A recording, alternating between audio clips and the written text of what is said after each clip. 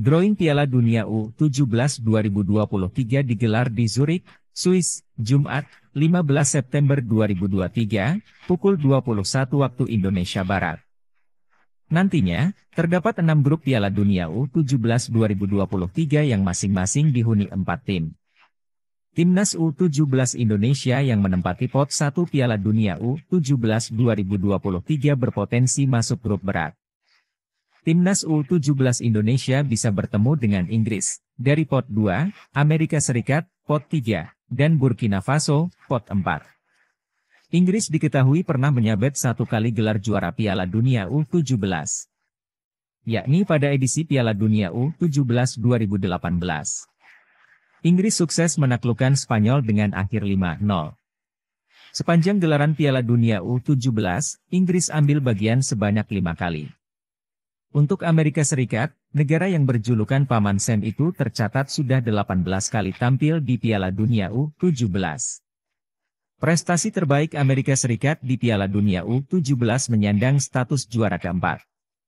Saat itu terjadi pada Piala Dunia U17 1999. Dalam perebutan tempat ketiga, Amerika Serikat kalah 2-0 dari Ghana. Sedangkan Burkina Faso tercatat lima kali tampil di Piala Dunia U17. Pencapaian terbaik Burkina Faso diperoleh pada Piala Dunia U17 2001. Burkina Faso keluar sebagai juara ketiga usai mengkandaskan Argentina dengan skor 2-0. Sementara itu, Ketua Umum PSSI, Erick Thohir, percaya bahwa timnas U17 Indonesia bisa melewati tantangan di Piala Dunia U17 2023. Kini skuad besutan Bima Sakti itu terus menggelar persiapan. Rencananya, Timnas U17 Indonesia akan melanjutkan TC di Jerman pada pertengahan September 2023. Adapun Piala Dunia U17 2023 mulai berlangsung pada 10 November hingga 2 Desember 2023. Potensi satu grup dengan tim negara yang kuat pasti ada, kata Erick Thohir. Namun, saya percaya di olahraga, apalagi di permainan tim, kuncinya adalah kerjasama dan nyali.